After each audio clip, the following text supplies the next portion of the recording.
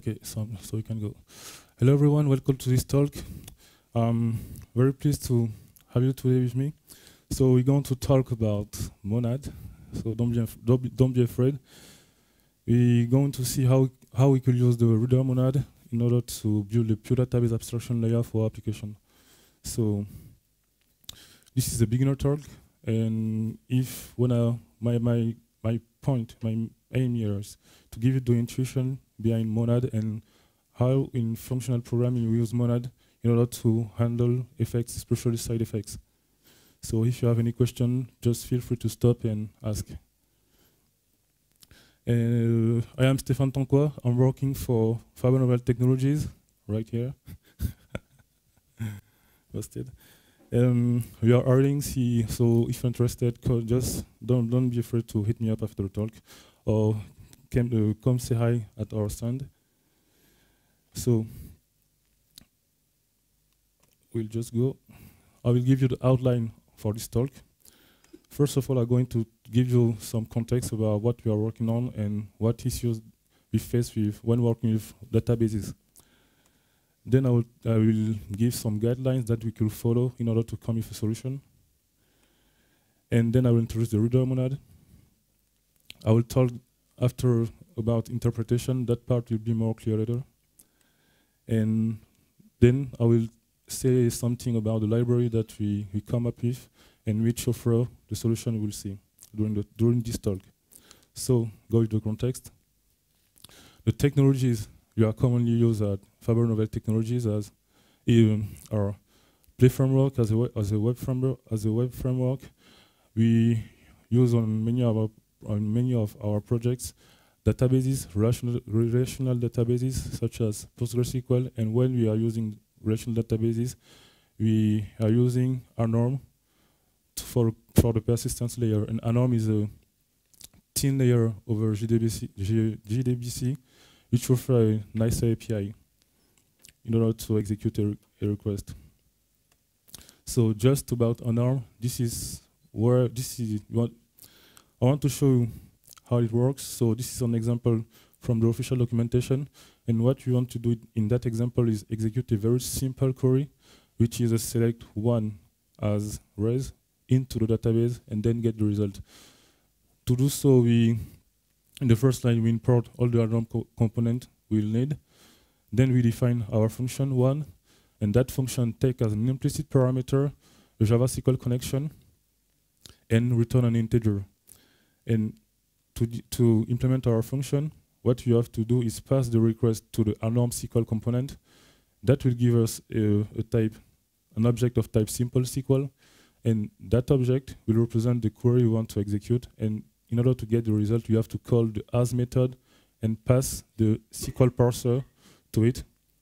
And that will give us, that will parse the SQL, the result, the result set of the SQL query, and will give us the result. And the implicit, the implicit Java SQL connection that we, we take as a parameter is used by the as method. So this is this look like dependency dependency injection, right? So that is great, but there are something that we could improve on that example. The first thing we want we could improve, we do not want to block our thread because if we look at the signature of our method, the one method, we get as a result an integer.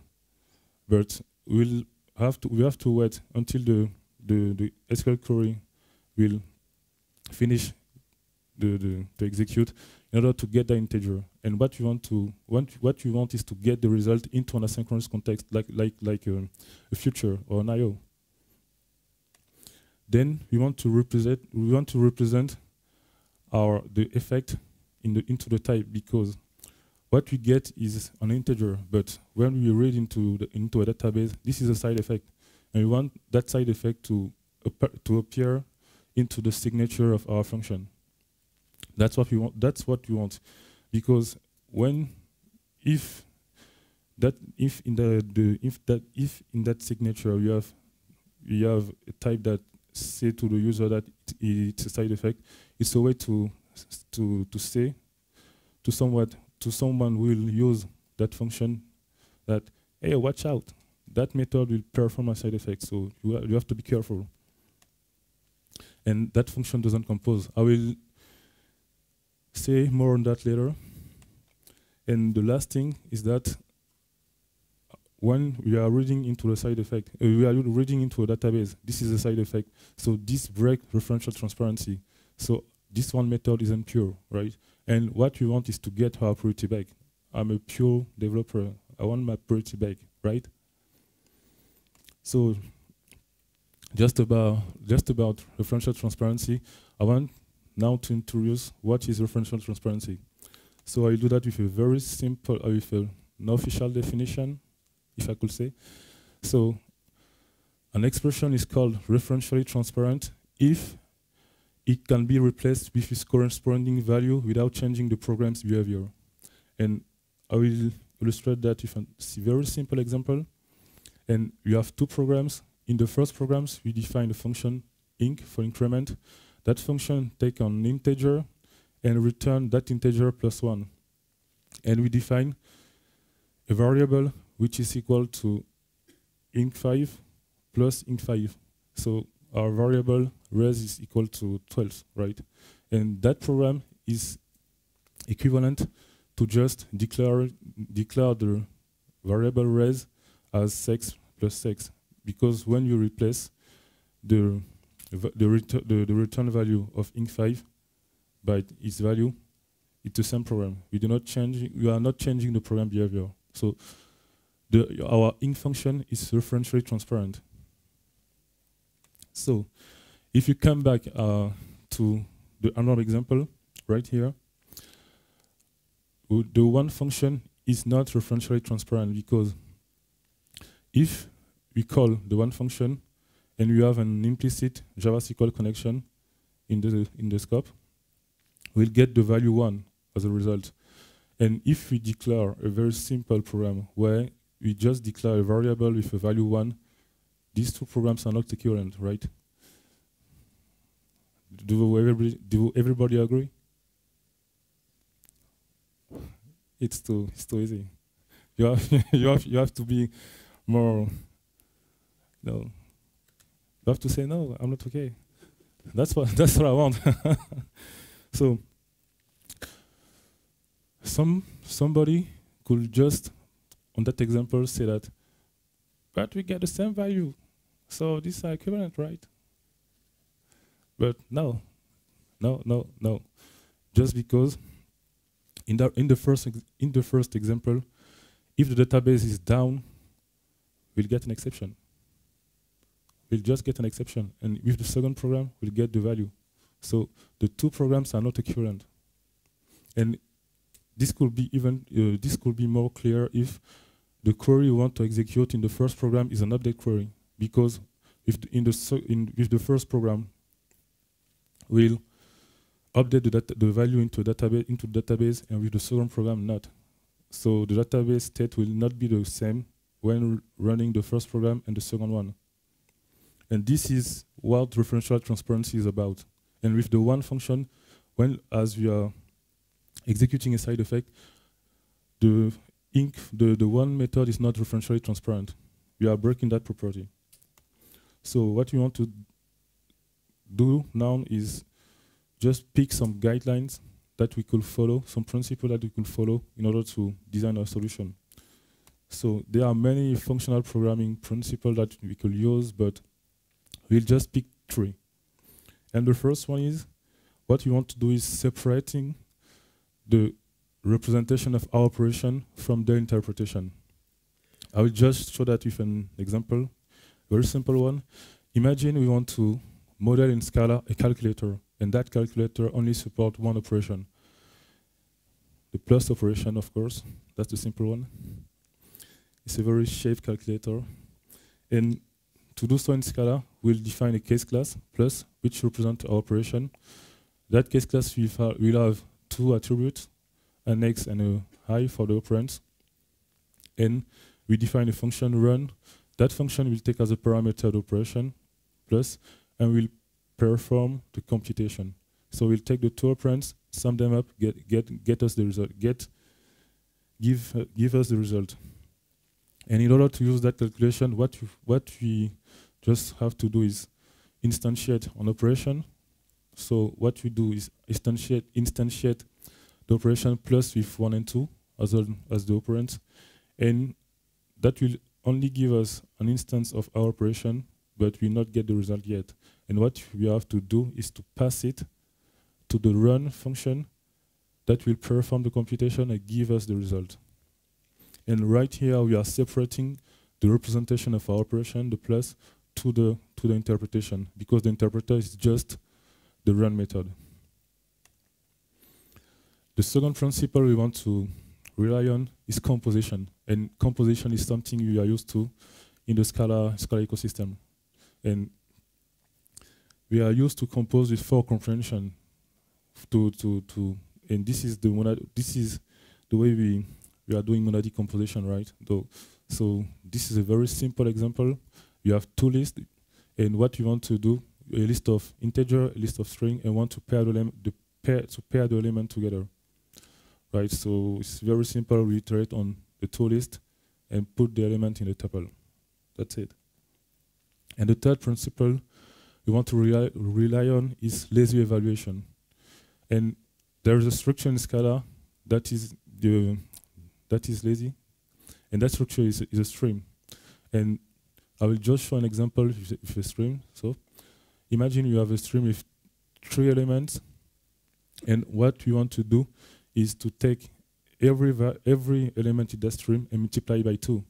And it's very simple. We just have to call a method map on that stream and pass it a function will multiply its, its input by two. But just by calling the method map will not get the result because it's from lazy, it will not execute your, your function. In order to get the result, eh, in order to multiply the element, we need to call, for example, the method print on, on the stream, which will run our function that we pass to the map, and then we'll print the result to the console. So with that true principle, we could now try to figure it out how our solution could look like. It's just a, a structure, so a type, and that type should be lazy. That type should only represent our operation, and that type should compose. For example, with for comprehension, right? So we could see that with a little example. If in that example we call our type f, we could now see we can now see how we how we could use that type. So to do so, I define first uh, a user with an ID, a name, and an age. Then I define a method to read the user into database, and that method will just take as a parameter an integer and, and will return that user, but that user is in is inside our type f.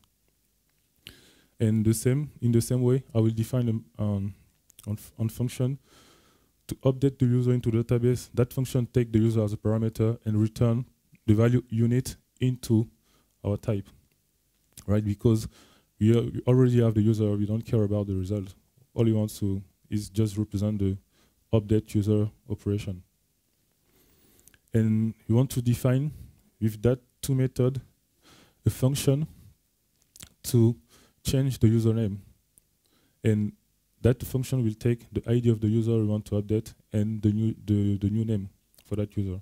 It's very simple to define it with our structure that compose and we um, just by using the two method read user and update user because all you want all you have to do is to read to read the user into database, get that user, set the new name, and then update that user into the database just by passing the just by passing to the update user function and then get get the result back. So this is something this is very simple and will our change user name operation could be defined in terms of in terms of other operation and we'll get an atomic an atomic function because if the read user is atomic, the update user is atomic, the change user name will also be atomic, right? So what I just said before is that our structure just represents our operation. So we need to, if you want to get the result, we need to pass it to something which will interpret it. So we'll execute that function and give us the result into a future, for example. So in that example, I just, when I want to change the username, I get the representation of my operation, I pass it to, to a structure, to the interpreter, and then I get the result as a future, future of unit. So the interpretation, in interpretation process consists of three simple steps. For the first one, I have to provide the context. The context is my, in my example is the Java SQL connection, because we need the Java SQL connection to execute the query into the database. You remember the as method on Anorm. Then we need to execute our operation. And when we are the operation that is inside our, our type, our type f, then we want to translate it into another another effect. You could just think you could just think that the interpret uh, the interpreter is just something which make a, which is which go from our our f type to something inside the future. So it pass from the f of user to f of future of f of unit to f of future. So there is a translation that, that is which is made by the by the interpreter, right? So we could not start, but we could not start to think about how we could implement our type. And the first thing we could think about is what we could do is not call the as method on a, of on the norm sim simple SQL component, right? We could just define our query, uh, pass the query to the anorm SQL component, get keep the, the simple SQL type to represent our operation. And then when, when we'll get the result, we'll just call the, the as method on it. This is fine, but what we want is to compose. And that type, for example, does not have the flat map method on it. So if we define our read user as a simple SQL of user, the update user as a simple SQL of unit, we cannot define the change username in a in with a single for comprehension, right? So we need to do better than that.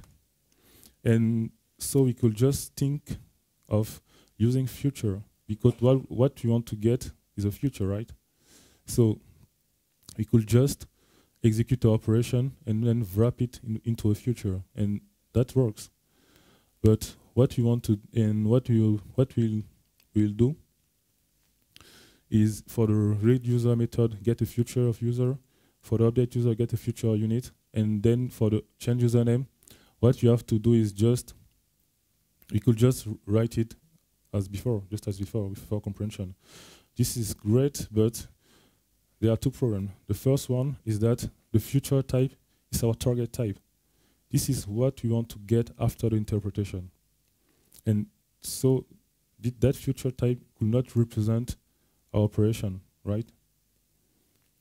And then the, the second problem you have is that we need to pass as an implicit parameter the connection, the Java SQL connection. And this is just tedious. This is just ceremony, right? what you want to do is just write an operation without having to uh, having to think about the Java, uh, having to think about passing the Java, Java SQL connection.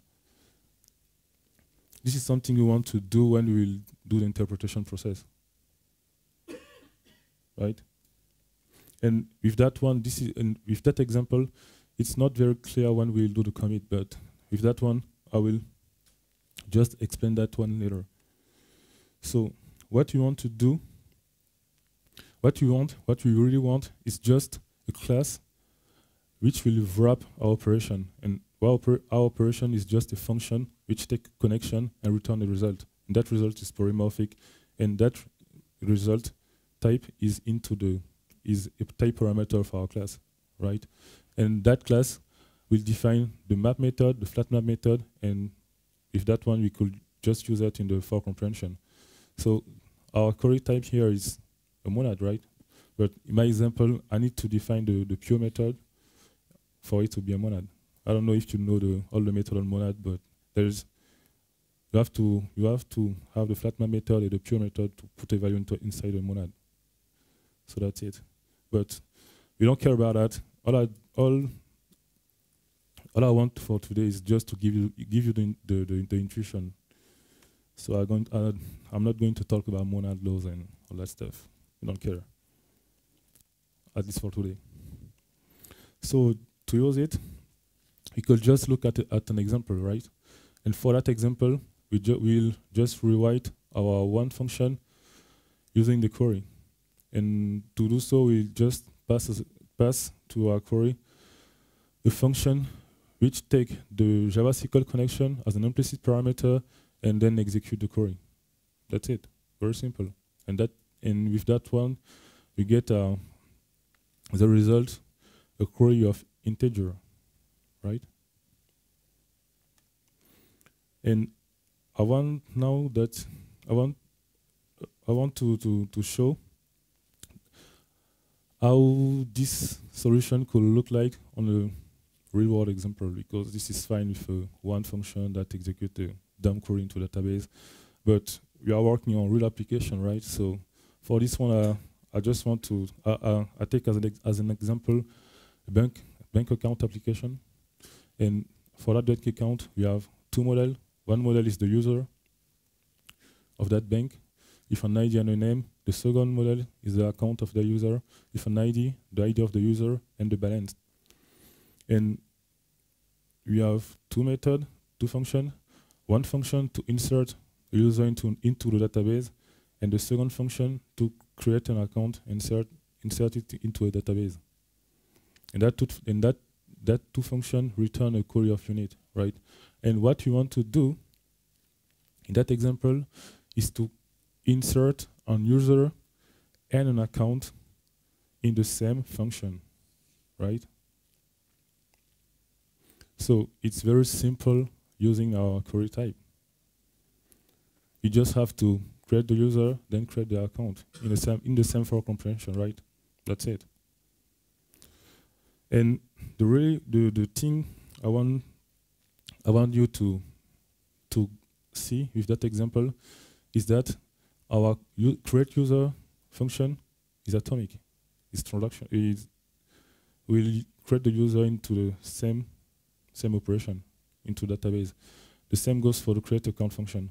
And then when composing the, that two functions together, what we get is another, is another function to insert the user and an account in the same piece of code. So that function that function is atomic and transactional. So we get the transactional semantics here for free with that query type. And when we'll when we'll use it, when we want to create a, a, a, user and an account, all we'll get is just an instance of our query, and that query will only represent the operation we want to run into the database. And as we are only representing our operation, we are we are lazy because we'll run it we'll run it later. And as we are lazy, we get our priority back. And as we are pure, we could compose because right here we're just composing our functions together, and that functions do not do anything, so they can be composed. So that's it. And in order to get the result, as I just said before, from the beginning of this talk, we need to pass our operation to the interpreter. But what is the interpreter will do is that the interpreter will launch the side effects. And as soon as we launch the side effect, we lose the purity because we and when we lose the, the, purity, we cannot compose anymore. So we lose our ability to compose as soon as we launch the, side effect. So this is something you really want to do at the end of our of your program. This is something you want to do in your main function at the end of your main function, or when you want to re to reply to the HTTP HTTP request in a web in a web application, for example, right? So this is really the intuition in functional programming. We are only representing our operation, and by by doing so, we could just we, we the benefit we get is purity, laziness, and and the, the composition semantic, right? And then we'll have to learn. We have to run it later, and by run, run it in, when we run it, we lose the ability to compose. That's it. So now we want to implement our query, and for me, I'm a lazy person, and as a lazy person, uh, when I want to implement that query, I have an idea. And my idea is just call someone have already implemented something that looked like my query? Because if I have it, the implementation will be very easy, right? And to do so, we should first look at the signature of that query type. Our query type is just a wrapper over a function, and that function take, takes one argument, the Java SQL connection we need. That's it. So we're done with the, guidelines. Now I will introduce the reader. And it seems that the reader monad is just the type you want. Because this talk is about the reader monad, and from the beginning, I did not talk about the reader monad. So this is where it comes in. And the idea behind the reader monad is very simple.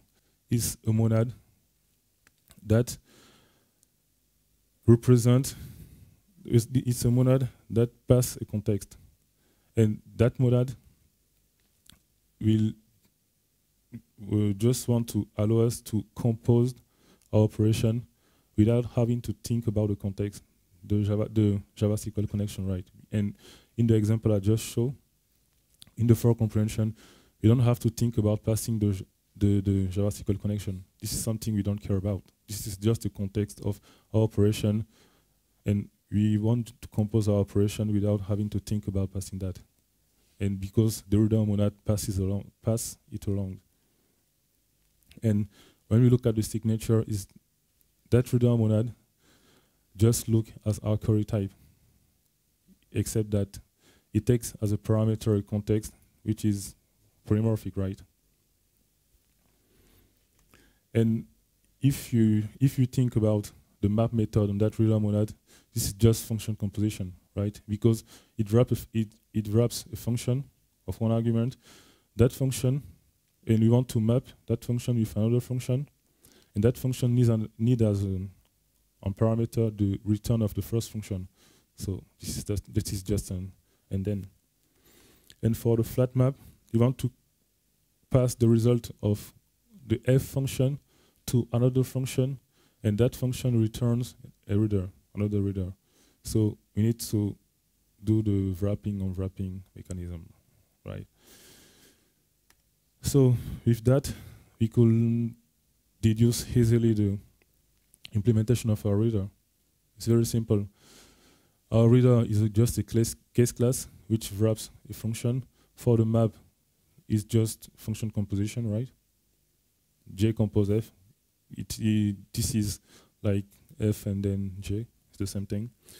And for the flat map, like I said before, it's just you have to do the wrapping of wrapping. So we declare a, a reader. That reader needs a context. So we take that context, we pass it to the F function, we get the result, we pass it to the J function. The J function return a reader monad. So we need to take the function inside that reader, apply the context to it, and then we get the result. That's it. In that reader monad have a pure function. It's a monad, so we need the pure function. And that pure function is very simple. We ignore the context and return that return that that value.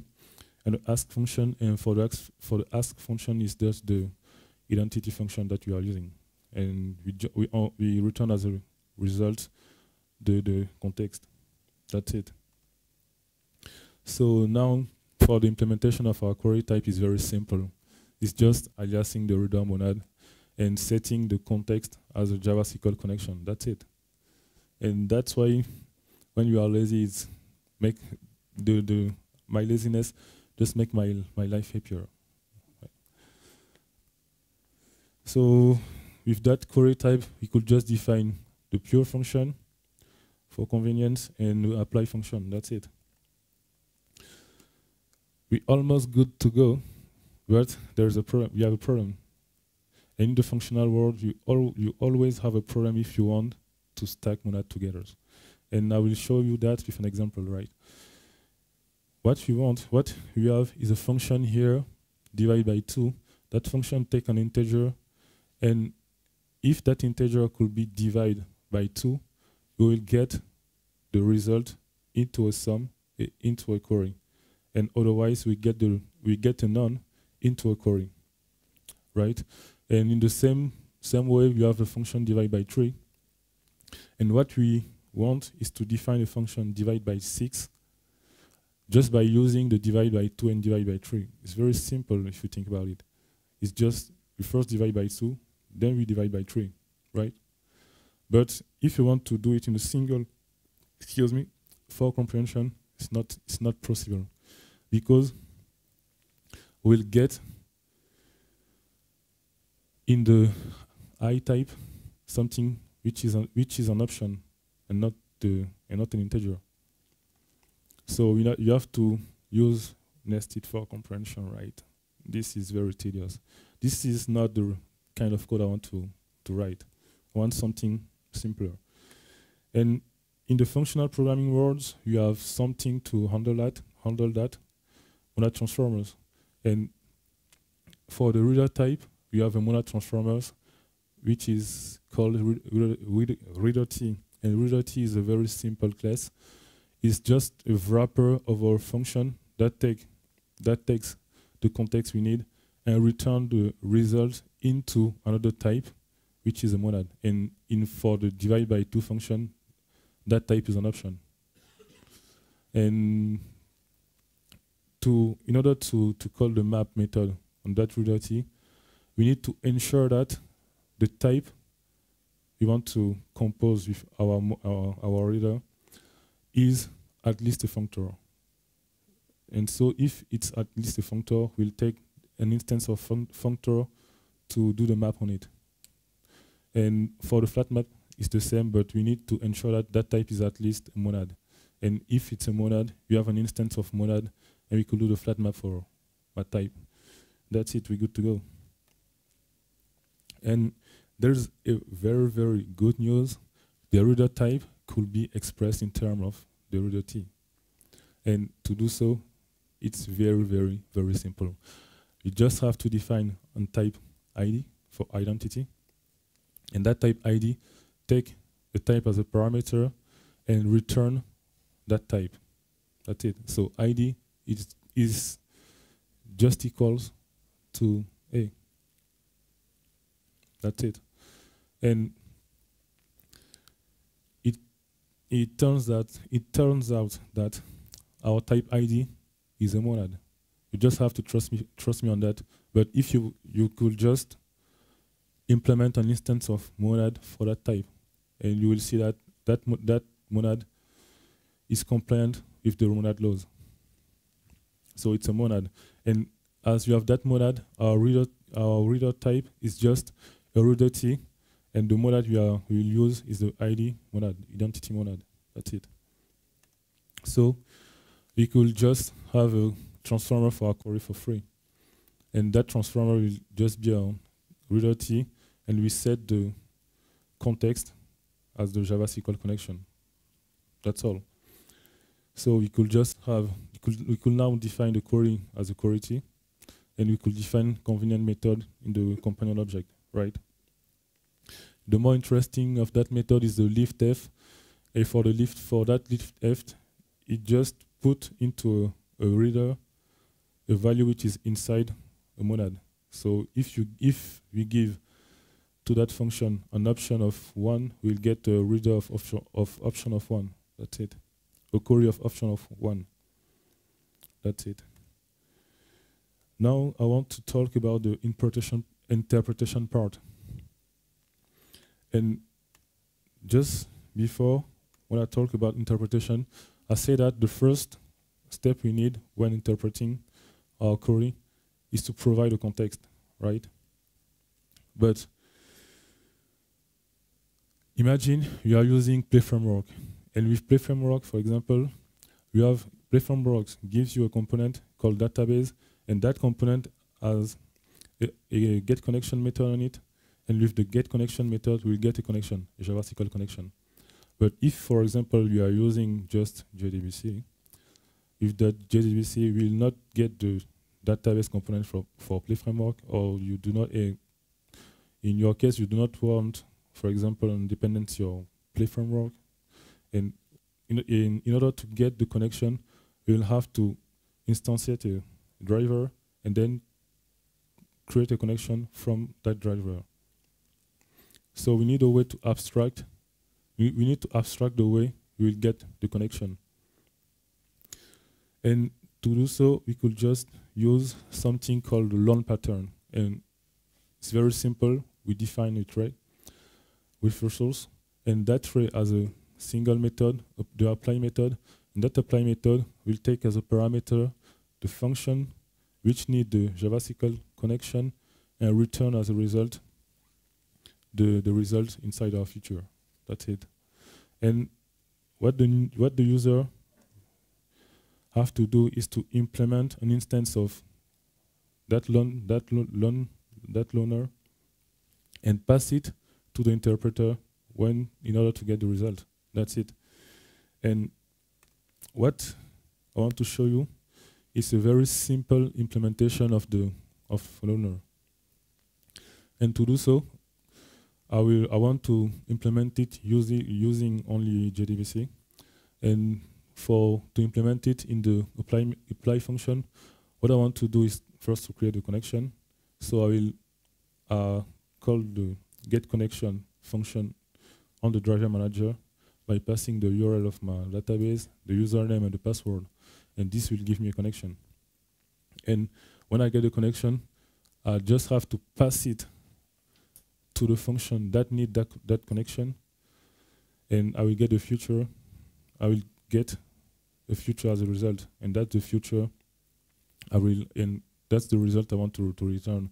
And what I want to do is to wait for the completion of that future to then see if if that that uh, that future completes with an error, I just want to do the rollback. And if if every, everything is okay, I just want to commit, and that's it. And this is how I get the transactional semantic for my my operation. This is because yeah, right right right now I will just pass the connection, execute my operation. If every, if everything is okay, I just commit, uh, and otherwise I roll back. That's it. And when my operation will terminate, I will just close that connection. I, will, I, I won't need it. Any, I won't need it anymore. So I will express with my query type an operation I want to perform that operation, and the connection I will use will be scoped for that operation. So we could now we could now come up with a naive naive version of the of of the interpreter, right? And we could just call that interpreter query runner. That's a good name, I think. I hope you agree with me. And that query runner will, will just take as a parameter the resource runner we need, an execution context as an implicit parameter, and we'll define a method apply. That method apply take as a parameter the query you want to execute. And the implementation is very simple. All you have to do is pass to the resource loaner a function which need, which take the connection We'll take that, we take that connection, we apply it to the function inside our query, and then we wrap the result in a into a future, right? That's it. That's very, very, very simple. But you have a problem. And yeah, we'll have a problem if the type inside our query is a future, right? Be why? Because we'll wrap that future into another future and we'll call the andThen method on the first future, right?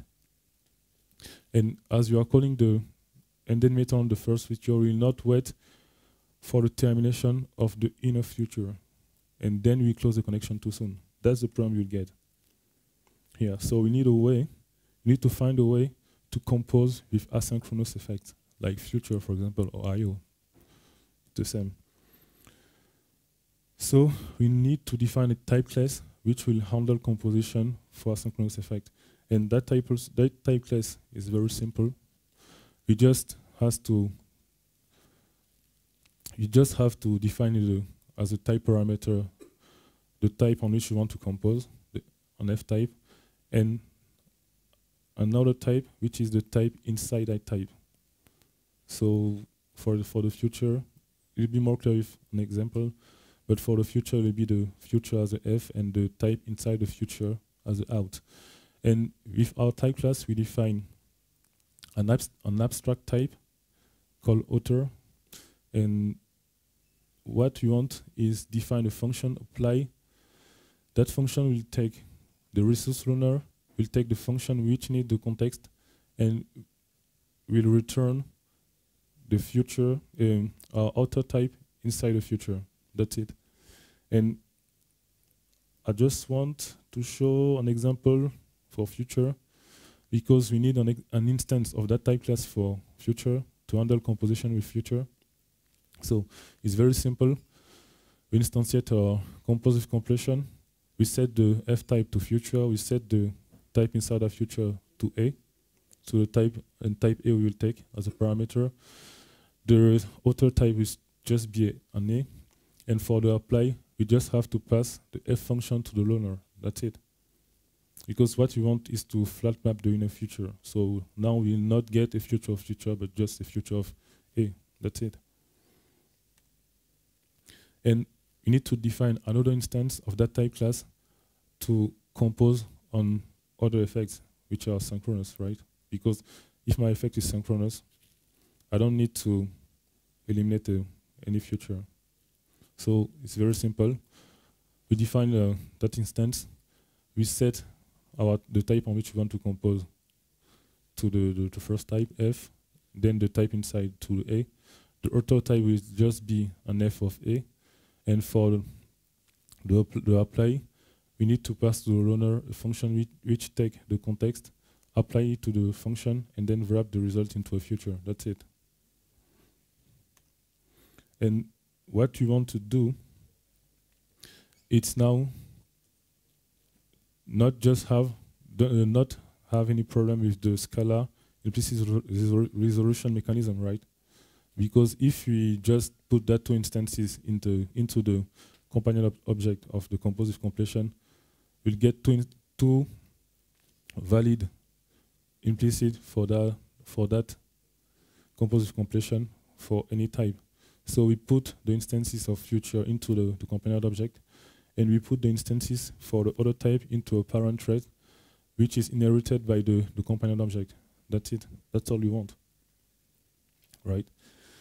So now if that one we could not have, we could now have our full implementation for the corona, right? Because all you want to do, well, all you want, all you have to do in the apply apply function is to take the compose completion instance for our type, our monad, the monad inside our query, as an implicit parameter, and we'll just call the compose and pass it the resource loaner, and then the function we want to run. That's it.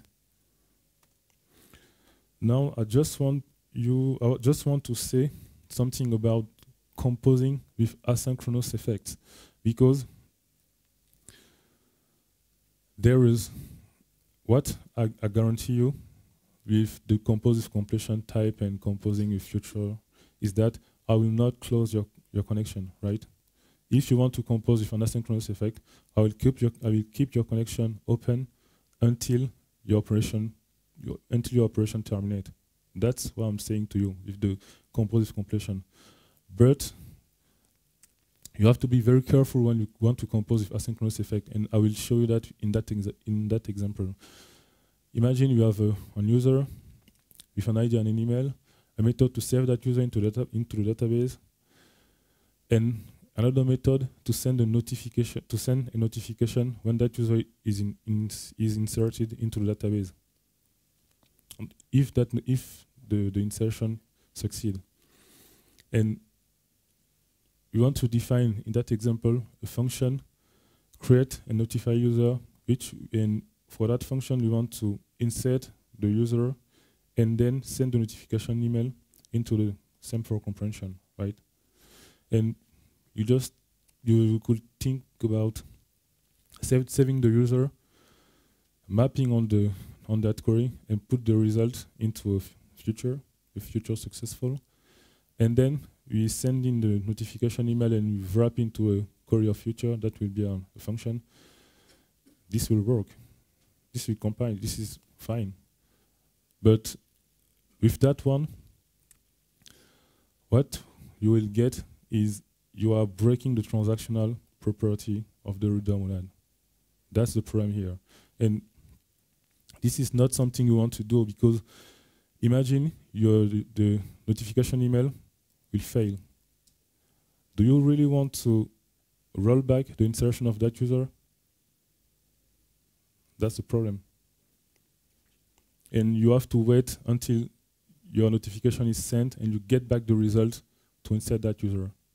So you, you have to wait for something outside your transaction to commit it, to commit commit that transac transaction. So you don't you not you do not want to compose with asynchronous effect. Just don't. You could, but just don't, please.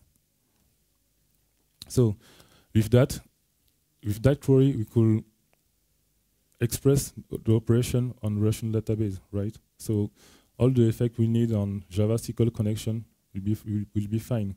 But imagine you want to we are we are working with MongoDB or Elasticsearch and want to use that query. You just have to abstract the type of the, the of the context and set it to a resource type, a resource type, right? And we could just define aliases for SQL, right? Now I want to talk about the library. So that query monad, we put it into a library named query monad. It's a very simple name. It's on GitHub. This is the URL of that library. It's open source. So if you want to contribute, you'll be pleased. That, li that library is modulable and extensible because that's the way we like our, the library we use. So that's the way we want to build our, our library, right? And it's based on cats, on, on cats. So the reader monad we are using comes from cats. The flat, the, the monad instances and the interfaces monad, functor, and everything like that come from cats. So we are benefiting from the instances of cats provided by, provided by cats. You get it for free. So as for the future of that library, you have the an abstracted query. So you, you could use it for SQL, MongoDB, or Elasticsearch, or I don't know. You have defined aliases for convenience for Java for relational dat databases, and we set the the context to Java SQL connection. That's very simple.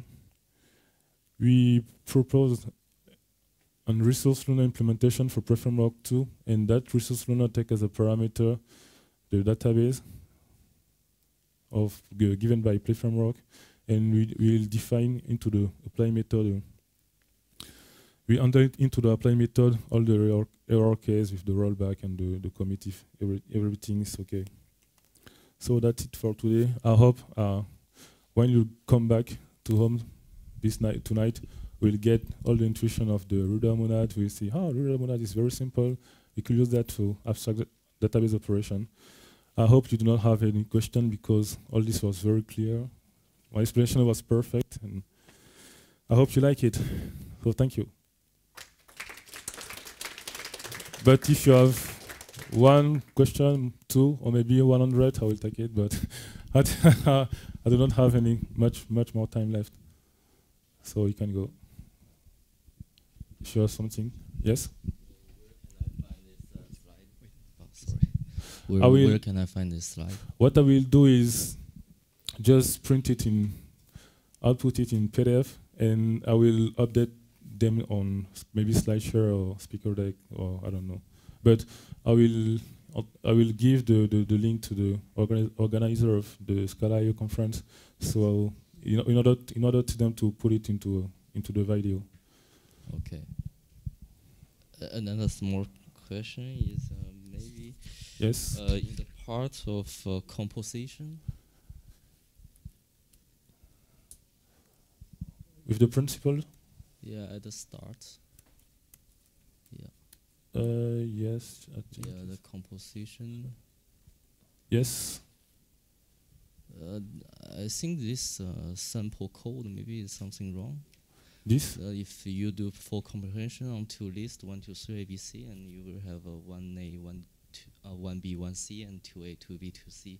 Oh, So- you you you, you, you mean uh, the the return type on the, Yeah, the yes, yeah, the yes. result maybe there's a problem. yes yes my bad. It's a it's a mix it's a mistake because uh, I didn't run it into into the the REPL. I just I just write it by by hand into into my slide. So um, you're right. It's a list of pair of integer and and string. So you're right. Any question?